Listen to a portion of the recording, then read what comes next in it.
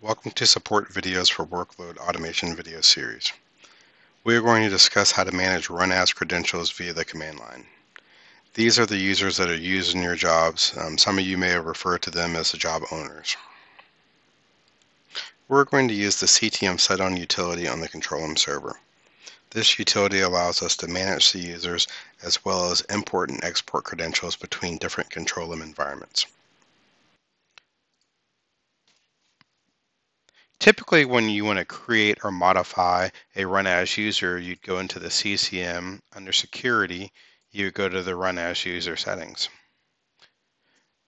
We can also do this command line using the ctmsetown utility, which we discussed earlier.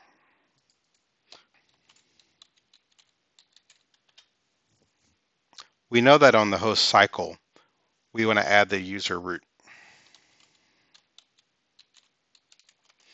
So we're going to do ctmsetown minus action add minus run underscore as root minus host cycle minus password.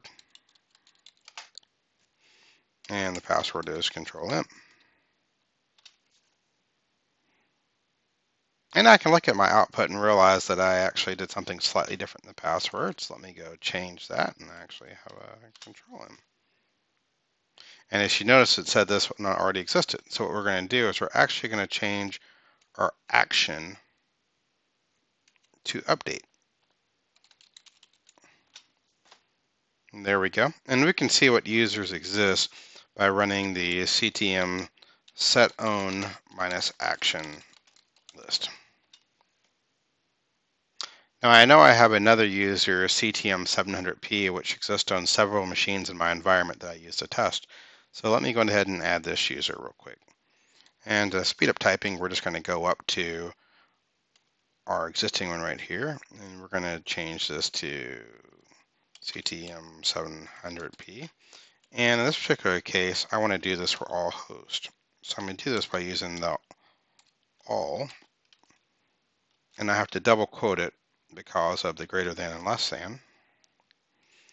And this particular user has a password, it's just his username.